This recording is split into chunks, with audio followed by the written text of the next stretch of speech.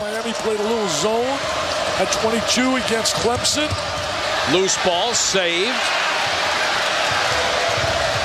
He got bumped. He's going to go to Yep. the line. Foul on Scheyer. What a second half Lawson has had.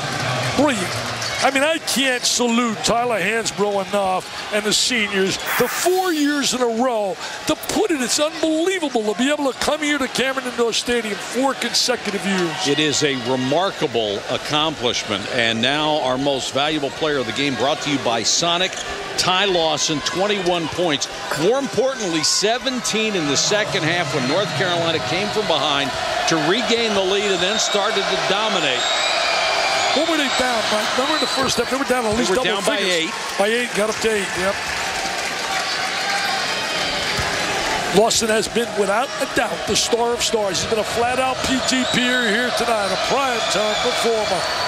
There are certain things certain players have to do. Lawson is ineffective if he doesn't penetrate. Ellington is ineffective Can't if he shots. hit three-point shots. And they did that tonight.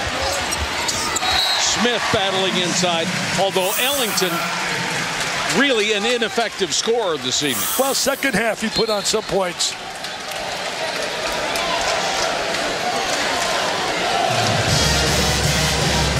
There's Hansbrough right now. The rivalry start for him. Here's his first win on this floor. Tyler Hansbrough getting a taste. He's excited. He got a W at Cameron Indoor Stadium against his buddy J.J. Redick. And then it was another opportunity as they won that with 83-76. Wow. Look at this here. Longest win streaks at Cameron. Look at Wake Forest up there. Wow. That's Mr. Duncan. Take a look at that. You got Ralph Sampson here on the bottom. I tell you, there's been some great players in this series and some great matchups. And you and I have had the privilege to sit here Haven't we? You know, the one thing, Duke, you look at their makeup of their team. If they're not making threes, they run into a dilemma because they have very little post presence. Where do they get Exactly. any post presence in terms of scoring down in the box? Lawson has gone from ineffectual in this game to being the leading scorer with 23. Talk about balance. Green and Ellington both have 15. Hansbrough and Thompson both have 14. Well, that's exactly what Roy Williams spoke about in today's local papers, that he wants balance. Well, my friend, did he get balance Hey, tonight? yes, he did. That's as balanced as you can get when you look at that distribution of the point totals. A terrific second half performance by North Carolina. And Heather spoke about it, how Roy Williams was not pleased and made some adjustments at halftime to get them to challenge and play defense. And what was the quote? Heather said, they better start to sweat, Roy said. They better start to sweat. Something we don't have to worry about. No. This will be the eighth straight North Carolina win this year. In a conference, an ACC conference play. Eight in a row after losing the first two to BC and the Wake Forest. Wake Forest has got to regroup. They seem to be in Boy, struggle okay. city right now. Foul is on Ellington with 34.9 to go. The one thing North Carolina does not want to do is commit a foul right now. The ACC standings, North Carolina will go up one game on Duke. If this holds, Duke will fall into a four-way tie for second place with three losses, Clemson, FSU, and Virginia Tech. Well, you know, you can get back in first, but now they got a tough task when you look at North. Duke, they got to go down to Chapel Hill and beat them in North Carolina, which they've done. In fact, when you look at this rivalry, five of the last six times the visiting team has won. Now, remember, when they play them again, do you think there'll be a little emotion? it's going to be the last game for Tyler Hansbrough in terms of regular season at Chapel Hill. And it could be the last game in Chapel Hill for a whole slew of North Carolina guys. Exactly. But I mean, you think there'll be some emotion, especially when you think Yes, about sir. what Hansbrough's achieved.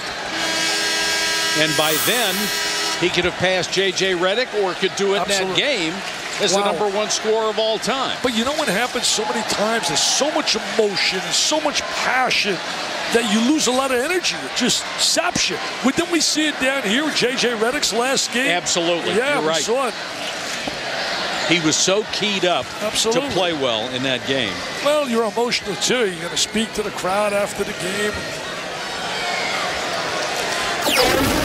Not sure what this discussion is about. They got a trip at Miami. I'm going to tell you something. Frank Haith's club has really played well. Lost that tough game here. We're up 16 and allowed it. They blew out. I mean, blew out Wake Forest by 27. That Virginia Tech game is going to be very interesting yeah, in Blacksburg. Seth Beamer's got a pretty good club. Last year, I thought they got a raw deal. I thought they belonged in the NCAA tournament based on their record in the ACC during the regular season. I think this is a clock problem. Take a look at Duke's upcoming schedule.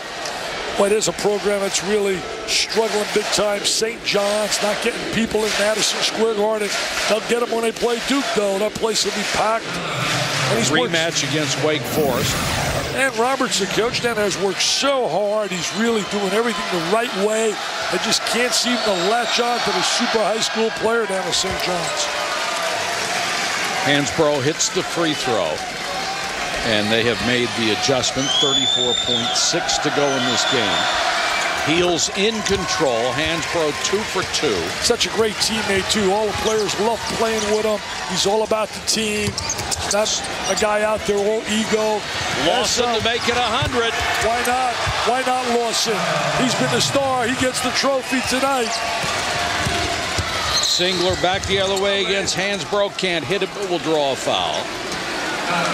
The last time the Blue Devils gave up 100 against UCLA in 2005. You know, we're talking about a team that leads the conference defensively. Defense. And here it is showing you the offensive potent attack that they have when you look at North Carolina. They come on a road, and come on a road doesn't matter. You know, Mike Krzyzewski said, if you're good, it doesn't matter where you play. If you're good, and that's really true. I mean, if you're really good, I mean, look at Michigan State, the way they're playing right now on the road. They're 6 and 0 in the, in the Big Ten on the road, and the conference is so much better now than it's been. Playing without one of their stars, too. Raymar Morgan, Tom Izzo's club. We'll see them uh, uh, next Tuesday. I have a game down there with Purdue. Got a tough break playing without Robbie Hummel.